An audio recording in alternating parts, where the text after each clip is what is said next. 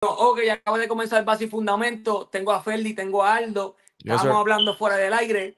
Y, de este tema, de, este suceso que está ocurriendo. Entonces yo le digo a los muchachos, ¿sabes qué? Vamos a prender las cámaras para preguntarle a nuestra audiencia de base y fundamento que qué opinan sobre esto. O sea, Ceja le tiró a Tempo en su nueva canción Alta y Baja que pertenece a su nuevo álbum Alquimia. Hay mucha gente escribiendo, Ceja no sale con Tempo, Tempo no sale con Ceja. Eh, podría ser una guerra pareja. Ahora bien, antes de preguntarle a mi panel base y fundamento, shout out, a Predator y Arembo que no están con nosotros hoy, tienen unos compromisos familiares. Ahora bien, ¿qué opina la gente? Vamos a estar poniendo la canción, un pedacito de canción, en el clipcito donde Tempo, eh, donde Ceja le tira Tempo, este, para que el público nos escriba en los comentarios que qué opinan, ¿ok? Así que, Aldo Feldi, estamos ready para escuchar el clip. Vamos a darle. Vamos allá. Dice, amén. Tú eres un muerto en vida, nunca serás mejor, estás sacando por la herida. Soy el papá de muchos, la historia no grita, la memoria le falla, yo no vengo de ahorita. Ahí está. Ok, ahí está. Esa fue, eh, eso, esto sale en la canción Alta y Baja de Enciseja de su nuevo álbum Alquimia. Eh, ¿Qué ustedes opinan? Él dice amén y, entonces sigue con sus barras. ¿Qué ustedes opinan? ¿Ceja le tiró a tiempo o son especulaciones? Bueno, la realidad es que al hacer el amén de esa manera, sí, sí te, te remonta al tema, porque precisamente se llama amén de, de tempo. Eh, y más o menos con lo que continúa se, se asemeja a esa, a esa, línea que es el principio de la canción, de hecho, de tempo. Eh, el tempo decía amén, estoy aquí de pie con vida. Entonces, acá, en verdad, este, MC Ceja lo que está diciendo es, y dice, amén. Eh, ¿Cómo es que dice? Que tú, tú estás muerto en vida, es lo que le dice. Entonces, pues sí, claro, suena, como, sí, suena como que es una alusión, o sea, suena como que es, un, es algo directo, bastante directo en, mi opinión. Eh, yo, ¿cómo te explico? Yo obviamente yo escuché el disco de, de MC Ceja y estaba viendo un patrón en este disco de como reflexión interna, de, de como aconsejando, de, ¿sabes? teniendo como un rol de este artista veterano que le está dejando saber a la gente que hay cosas más allá que el dinero, que hay cosas más allá que... Con motivación. Exacto. Entonces, estuve buscándole qué otro ángulo podría tener esta línea para decir, a lo mejor no es una tiradera, a lo mejor no es un jabcito, a lo mejor es como, o sea, lo más cerca que se me pudo ocurrir es que como que lo dijeran, como si se lo, estuviesen diciendo a él. no, podemos, no podemos obviar que Tempo, hace un tiempo atrás, cuando le hizo la última tiradera a Polaco, él incluyó en esa tiradera ceja. Ya. Y él le dijo, yo te respetaba, pero, y entonces él le dice lo que, le, lo que él le dice. Entonces, este, por default, pues obviamente no hay por qué dudar de que Ceja le haya claro. escrito estas barras para Tempo contestándole de alguna manera u otra. o no podemos olvidarnos de que, de que Tempo ya, ya le había enviado un mensaje a él, como, como quien dice. es el, el, el tag team de Polaco, ¿verdad? Que antes de este álbum, que by the way, me sorprende que Polaco no haya sido parte de este álbum. O sea, me sorprende. A lo mejor están pasando cosas ahí, pero obviamente no sé. Este, yo le aplaudo el disco a Ceja porque hace poco escuchamos el disco de Don Miguelo, donde Don Miguelo, que es un veterano, hizo un disco completamente solo. Me parece súper interesante que a pesar de que tiene varias colaboraciones, eh, interlude y cositas así, este, se haya tirado un disco bastante solo, que eso hay que aplaudírselo. Pero Polaco es su tactín y no lo tiene ahí. Entonces, si fuera como Ferdi dice, él no, él no fuera a coger una barra de tempo de un tema viejo para hacer alusión de algo positivo. Eh, sabiendo sea que Tempo es el archienemigo de su pana polaco. ¿Me entiendes? Claro. Como que no. y, no es lo que pienso. no es lo que pienso. Escucha, no, es lo que pienso. Yo no te estoy diciendo que yo pienso que, lo estaba haciendo de una forma positiva. Lo que pasa es que yo, como el resto del álbum era así, pues yo estaba tratando de decir, coño, déjame ver si puedo encontrarle otro ángulo. Y lo más cercano que pude llegar fue como que, como si a él le estuviesen diciendo que eres un muerto en vida, porque después él dice, yo no vengo de ahorita. O sea, como que a ustedes se les olvidó que yo no vengo de ahorita, pero en realidad no, no hay, no hay manera, no hay manera. O sea, creo que es bastante claro que, que es una puya. A mí me encantaría, a mí me encantaría escuchar una guerra lirical entre Ceja y Tempo. Eh, me parece que Ceja es de estos artistas que podrían darle candela a Tempo.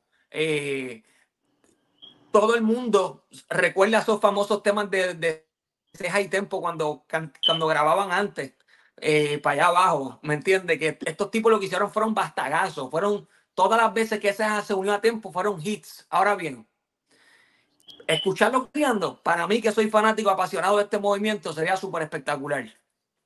Eh, para contestarte lo del disco, de haber escuchado a Ceja solo, yo entiendo que no necesariamente debe estar ocurriendo algo entre él y Polaco. Eh, pienso que ya esto era un deseo de él, sacar algo del solo. Este, yo creo que Ceja lleva mucho tiempo sin sacar una propuesta de él como tal, así, completa, como esto. Y aparte de eso, yo creo que Polaco y Ceja habían hecho ya lo último que había sacado sea fue con Polacos. Sí, era juntos, sí. yo pienso que el deseo de hacer esto solo, pues se, entiende. Eh, que está muy bueno, por lo menos lo que he podido escuchar está muy bueno. Eh, en cuanto a lo de la guerra o la, ¿verdad? la tiradera lirical, eh, he, visto muchos comentarios, la gente diciendo como que, como dijiste ahorita, pero hubo un comentario interesante que dijo, esta, esta esto sería algo demasiado de muy parejo. Sería interesante escuchar estos dos porque nunca había pasado algo así, ellos siempre estaban unidos. Y inclusive, estando tiempo eh, en su sentencia, ya Buda estando afuera, cuando hacen Buda Family 2, Ceja acapara mucha atención en lo que es el disco de Buda Family 2. So, como tú dices, este Mikey, sería algo bien interesante porque ya Ceja fue parte de lo que fue la familia Buda Family, de cierta manera. Y, es, que, compartieron mucho juntos.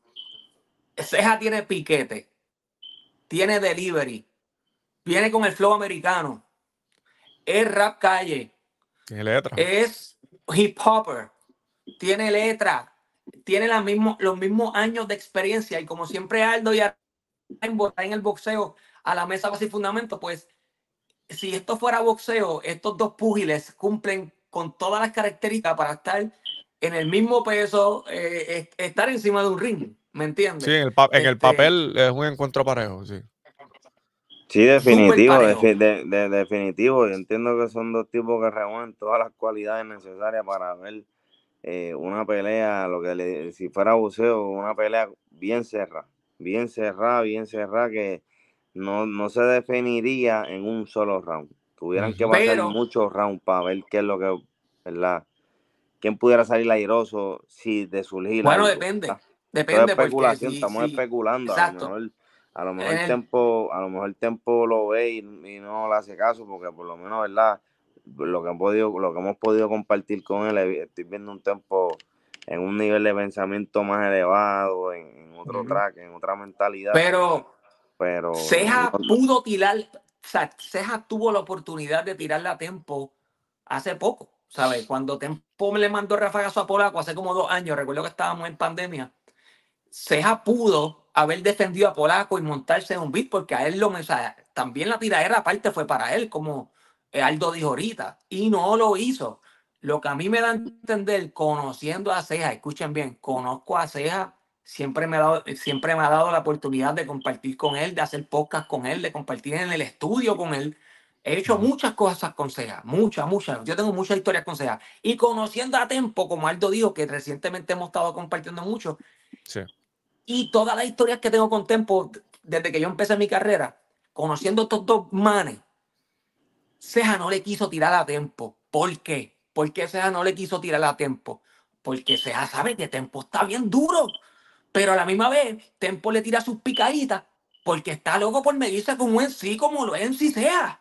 sí, pero, pero, pero, pero, pero, yo entiendo que dentro de las picaditas y ve una barrita aquí, una barrita allá, existe todavía un respeto. Existe un respeto de sí, un respeto de compositor, un respeto de, de rapero de delivery, ¿entiendes? Estos tipos saben, eh, cada uno de ellos saben eh, eh, lo, que, lo que carga cada cual. O sea, ellos saben y reconocen el calibre que tienen. yo, veo aquí, aunque, aunque pudiera surgir algo, y está, obviamente está, se está viendo obvio que sea, se refirió a tiempo y, le envió un mensaje. Como quiera que sea, dentro de este mensaje estoy viendo respeto. ¿Me entiendes? No, no sé si me sigue. Eh, aunque, aunque haya habido alguna diferencia o pueda haber un beef aquí entre ellos dos, todavía sigo viendo una línea de respeto. No es lo mismo.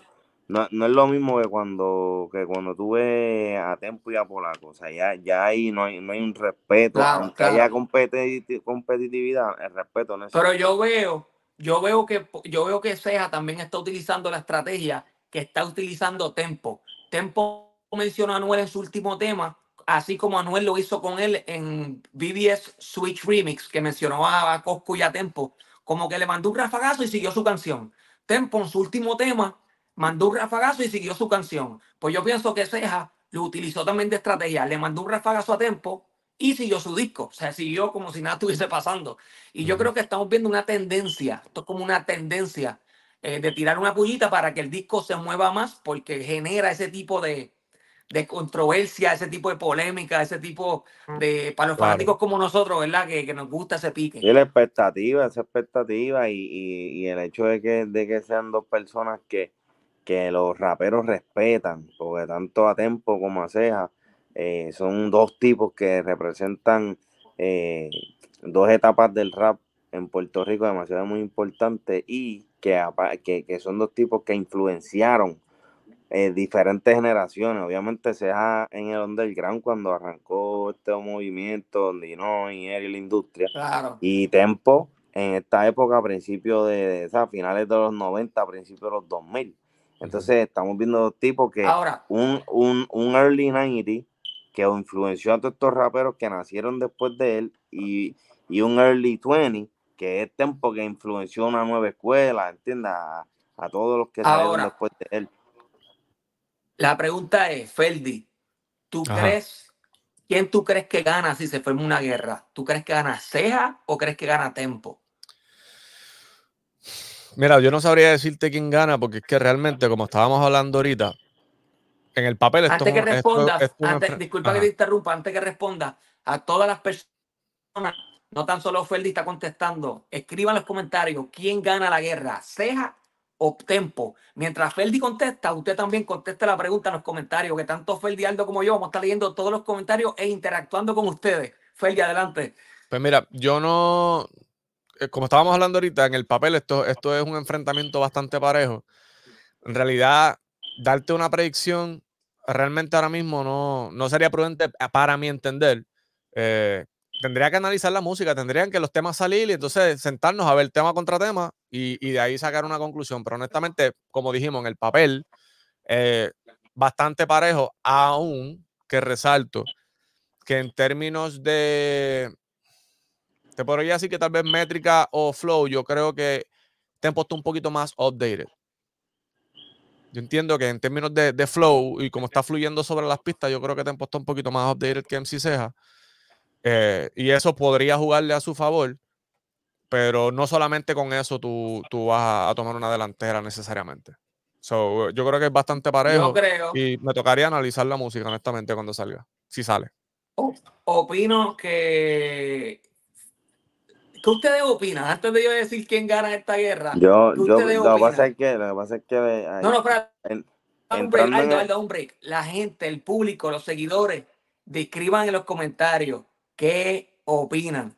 Por lo menos lo personal, discúlpame Aldo, lo personal, creo que Tempo gana esta guerra simplemente porque la experiencia dentro de la guerra mm. que él tiene es de las carreras con más guerra en la historia. ¿Sabes? Este es un veterano. Sin embargo, sea son bien pocas las guerras que ha tenido. Y yo mm. creo que ninguna de esas pullitas que le ha tirado, que siempre, bueno, ha tenido guerra, pero como que no he sentido que aún ha sido bien personal, así como las que fueron polaculitos contratiempo, la de Polaco, no, no, la de... no, no, no, no, tenemos que remontarlo en los 90, la guerra de Ceja con Baby Gringo fue real, eso fue una guerra bien, bien personal, eso fue bien personal, eso no fue montado, eso fue una guerra real.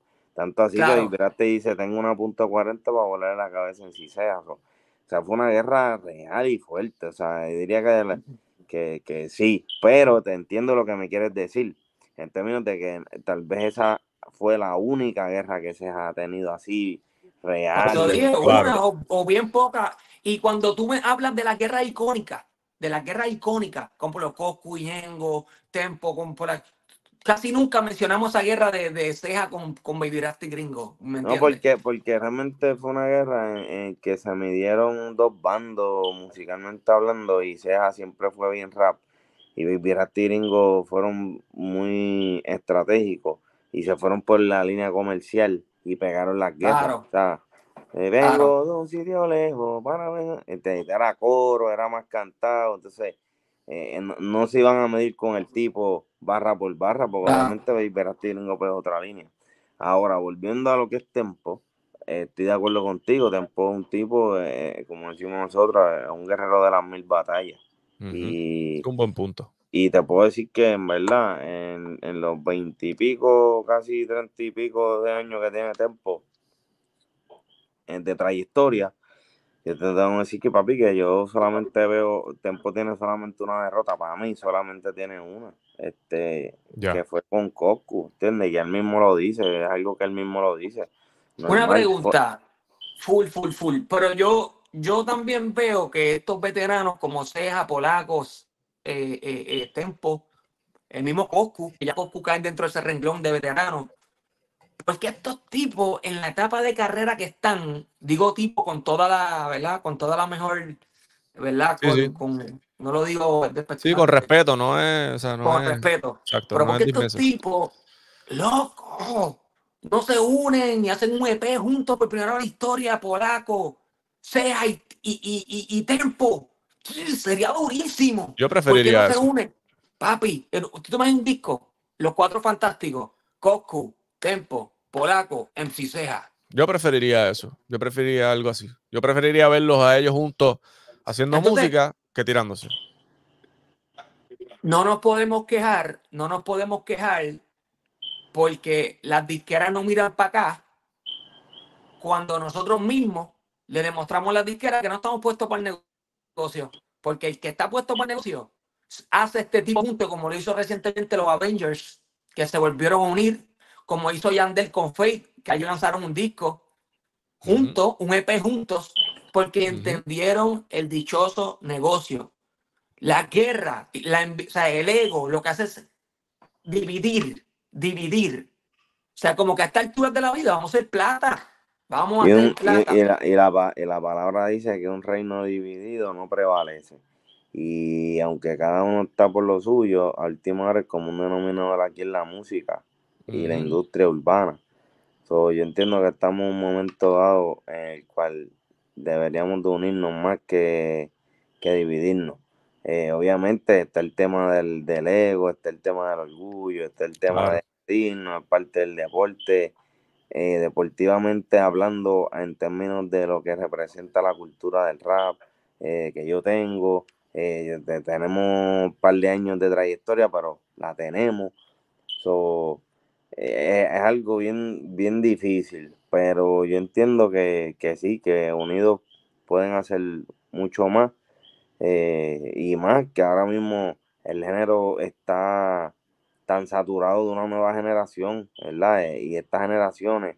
A, eso, a eso, ese punto que estás trayendo es bien interesante. Si estamos viendo toda esta nueva generación haciendo cosas grandes, Lugar La L haciendo cosas grandes, este, todos esos artistas Locos se unieron en BBS Switch, punto. Estos artistas duros, pam, pam. Pues, papi, nosotros los de la vieja escuela tenemos que hacer las mismas jugadas, unirnos nosotros para que el mundo entero sepa lo que es delivery, lo que es un OG encima de una pista. ¿Qué te parece esto? ¿Estás de acuerdo, Ferdi? No, totalmente, totalmente. Incluso, incluso muchas veces, ¿verdad? Hemos, hemos tenido conversaciones con, con hip hoppers que se han convertido esas conversaciones en ellos quejarse de lo que está pasando en la música ahora pero no se enfocan entonces en, salir ellos a representar el hip hop, a hacer ellos la música que ellos entienden que es la música correcta, que es la música que, les corre a ellos.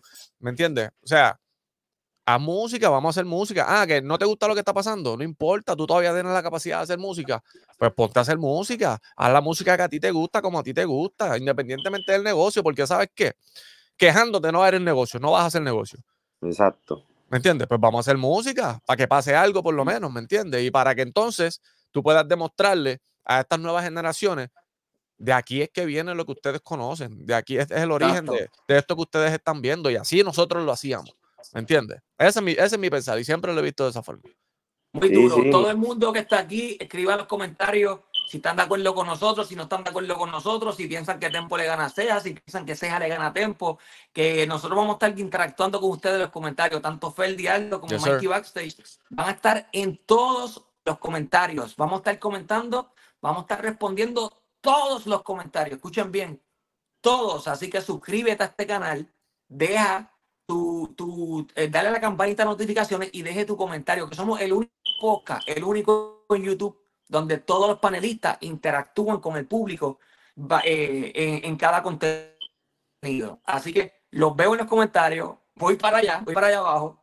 Así que Aldo, Feldi, gracias por estar aquí y sigan consumiendo el disco de Sea Alquimia. Me parece una excelente obra este, de este veterano y las pistas, la mezcla, eh, la canción que hizo como si fuera un podcast, cómo estructuró el álbum, eh, se escucha súper fresh. Así que suelten en banda de vez en cuando las rutinas diarias y también den oído a estas grandes obras que nuestros OG sigan haciendo. Así que, eh, nada, recuerden, eh, si están por el área metro, arranquen para el dealer Avilés, que ese es el dealer más durísimo en Puerto Rico. Avilés, antes conocido como Avilés Auto, aquí ubicado en Mall of San Juan. Ahí tienen eh, todos los autos de lujo que se puedan imaginar. Avilés, ahí en Mall of Juan los tiene. Así que Aldo, Feldi, nos fuimos. Gracias a la gente por estar aquí.